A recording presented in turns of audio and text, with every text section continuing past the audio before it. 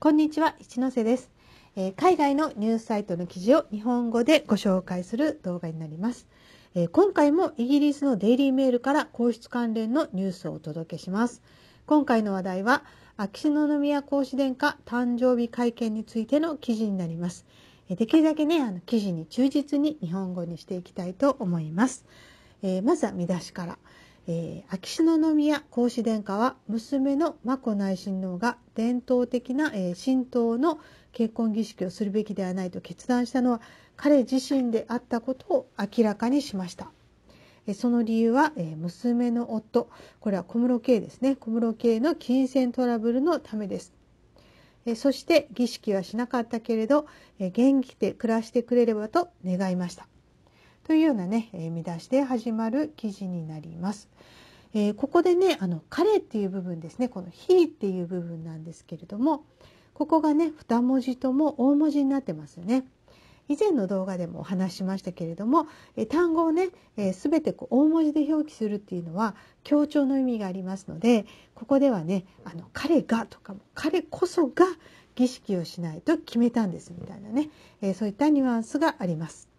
そして、えー、この後半のね「All the best」っていうところなんですけれども、えー、日本語の発言でね、えー、元気で暮らしてくれればっていうふうにねおっしゃった部分があるかと思うんですけども、えこの部分を英語に直したのが「All the best」っていうような、えところになるんではないかと思います。記事の概要を見ていきます。え日本の秋篠宮文仁皇嗣殿下が娘の結婚式のメディア報道に苦言を呈しました。えー、この中のブラストっていうね単語なんですけれども通常一般的にはねあの爆破というようなね意味があるんですけれども、えー、口頭でね激しく非難するっていう意味もありまして今回はこちらの方の意味ですね。えー、先月一般人の小室圭と結婚した眞子内親王は皇族の地位を離れました現在ニューヨークにいるカップルは、えー、ひどいコメントの対象になったと彼女の父親は言いました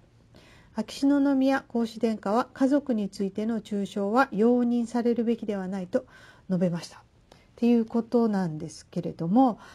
デイリーメールなかなかね攻めますねって思ったんですがなんかねこう俺の家族を侮辱するなみたいなね秋篠宮殿下も「鬼滅の刃」を見ていらっしゃるのでしょうかってちょっとねあの思ったような感じなんですけれどもまあ、お誕生日会見っていうことだったんですが要はなんかこういうことですよねあの自分たちを中傷するのはま許せんみたいなねそれが言いたかった会見ではないかというふうにま感じましたのでそういった確信のね会見の確信をついてる、えー、このね記事の要約ではないかと思います。記事本文を見ていきます。日本の孔子殿下は娘の眞子内親王が、えー、新しい夫これはあの新婚の夫ですね新婚の夫の、えー、金銭をめぐるスキャンダルのために伝統的な結婚の儀式を行うべきではないと決定したことを明らかにしました。秋篠宮文仁皇嗣殿下の長女であり近所天皇陛下の命である眞子は先月伝統的な神道の儀式を一切行わずに小さな民間の式を行い平民の小室圭と結婚し皇籍を離脱しました。その後夫婦はニューヨークのワンベッドルームのアパートに引っ越しそこで小室は弁護士として働いています。ということなんですけれども実際にはね弁護士ではなくて、えロークラークですよねあの弁護士の試験は落ちてしまったので、えしばらくの間はロークラークとして勤務するというふうに言われております。え56歳になる秋篠宮文仁皇嗣殿下は本日の会見の中で義理の息子の金銭トラブルに対する国民の不安から結婚は儀式なしで行われるべきであるとの決断を下したと述べました。えー、小室の母親が以前の婚約者のお金を借りているかどうかについては議論が分かれるところです。小室佳代は元婚約者が彼女に贈り物として彼女の息子の教育費をくれたと主張しいわゆる贈与ですね。いただいたお金ということですね。元婚約者はそれは貸したお金で返済してもらっていないと主張しています。まこと、え婚約を発表した小室は自らを弁護する声明文を発表しましたけれども、えこの、え論争が完全に解決したかどうかはまだ不明です。また日本国民の世論に勝つには不十分でした。このね、えー、声明文っていうのはあの28枚のね説明文書のことなんですけれどもこの文書発表直後にもねすごく炎上してましたよね。であの34日後ぐらいにやっぱあの前言撤回で解決金払いますとか言ってなんかそこでね方向転換していましたけれどもそういった流れがですね、まあ、国民の世論に勝つには不十分でした誰もね国民は納得しませんでしたというようなことが書いてあります。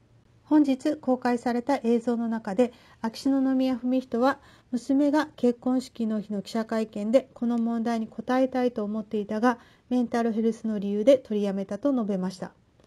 孔子殿下は、えー、眞子は、えー、最後の最後まで記者会見を双方向にしたかったけれどもまあ、ちゃんとねこう質問にね答える形を取りたかったということですけれども複雑性 PTSD のために困難だったというふうに述べ、えー、小室が直接家族の金銭問題に関して自分で話し質問に答える機会があればもっと良かったというふうに付け加えましたということですね。あの眞子さんはやっぱりあの複雑性 PTSD でちょっとメンタルをやられてるのでそういったあの、えー、メディアのね質問に受け答えするような形での対話は難しかったけれども小室がね自分でやればよかったじゃんみたいなねそういうふうに本音では思っていらっしゃるという様子が伺えるかと思います。で、えー、代わりに、えー、夫婦は事前に準備された説明文を読み報道陣が事前に提出した5つの質問には、えー、書面で回答しました。秋篠宮文人は結婚式の日に、え娘を送りアメリカでの新生活がうまくいくように願っておりアメリカで暮らすのが自分たちにとって、えベストだろうと、まあ、KK 夫妻が決めたことだというふうに語りました。孔子殿下はまた皇族に関する間違った報道がなされた場合将来的には皇室は何らかのアクションを起こす可能性があることを示唆しました。メディア報道と彼の娘の診断、えー、複雑性 PTSD との関係について質問が及ぶと、えー、タブロイド紙を読んだらまあ、このタブロイド紙というのは週刊誌のことですね、えー、週刊誌を読んだらあ何と言ったらいいか分かりませんがそこには作り上げられたものがたくさんありますが私たちが耳を傾けるべき意見もいくつかありますというふうに秋篠宮皇子殿下は質問された時に、えー、答えました。えー、大学で出会った眞子と、えー、小室圭が、えー、2017年に婚約を発表した時日本は祝福したけれどもこの金銭スキャンダルが暴露されるとメディアはこの婚約に激しい監視と批判をするようになりました。インターネットの記事についてはコメントもたくさんついてます。そしてそれらのいくつか本当にひどいことを言っていますと秋篠宮は付け加えました。SNS で誹謗中傷された日本の有名人による最近の自殺事件を引き合いに出して彼は次のように述べています。人々を深く傷つける言葉である誹謗中傷はインターネットや雑誌などどこでも容認されるべきではありません。一部の皇室ウォッチャーは結婚式に対する抗議さえ引き起こした眞子の結婚に対する怒りは皇族の生活を支える宮内庁によって海外の王族が同じような事例をどのように処理しているかを参考にしうまく沈静化された可能性があると述べました。秋篠宮文人は宮内庁はウェブサイトの誤った情報を訂正することもあるが今後はもっと必要になるかもしれないと示唆しました。記事に反論する場合は適切な基準を設定しそれを超えた時に抗議する必要があります。さらに今後もネガティブな報道が続く可能性があるので宮内庁と協議してそのような基準を設定することを検討する必要があると思います。というふうに彼は言いました。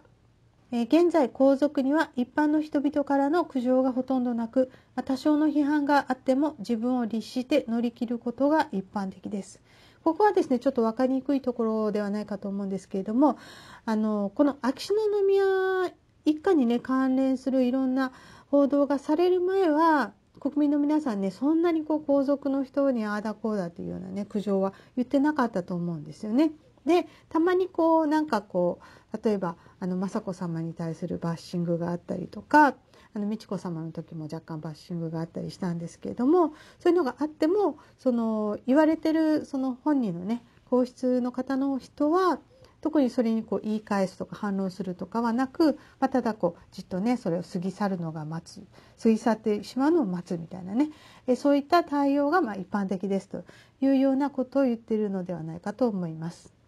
で、えー、ここから先の記事なんですけれども、えっと、今回のね秋篠宮皇子殿下の会見の内容からちょっと話題が外れますので、えー、省略していきたいと思うんですけれども、えー、内容としてはですねあのまた皇位継承に関する問題についてあの書いてあって、まあ、女性がねあの皇位継承権女性皇族が皇位継承権を持たないっていうのがちょっとあの古臭いんじゃないか、まあ、時代遅れなんじゃないかみたいな話ですとかあとなんかこう眞子内親王がねあのの儀式をない結婚をしたっていうかそういったことに、えー、結構国民のね8割ぐらいが反対しましたよとか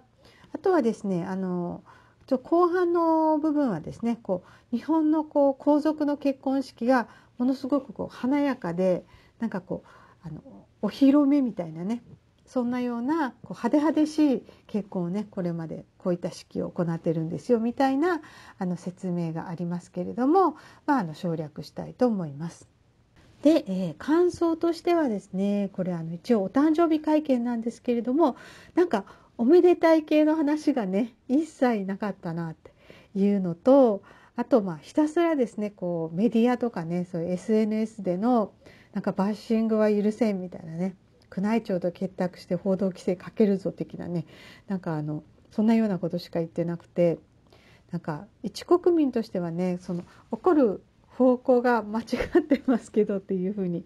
思いたいですね。あの小室家がいろんなねトラブルを起こさなければ全然ね良かったしもっとこうあのまたこう差別とかね言われるのかもしれないですけれどももっとねこう女性皇族の伴侶としてふさわしいねえー、男性であれば全然ね日本国民はってね応援したというか祝福したと思うんですけれどもね。